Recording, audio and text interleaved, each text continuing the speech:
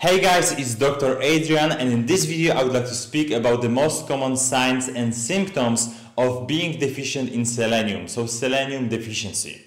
So the first one is of course increased risk of hypothyroidism and Hashimoto's. If you are struggling with these conditions, with these thyroid diseases, this may be a sign that you are also deficient in selenium. Then we have infertility. The next one is slow metabolism and gaining weight. Uh, next one is weak immune system and frequently getting sick. So if that's you, make sure to check your selenium. Next one is hair loss. Then we have muscle pain, either during your day because of the increased inflammation or during your workout sessions.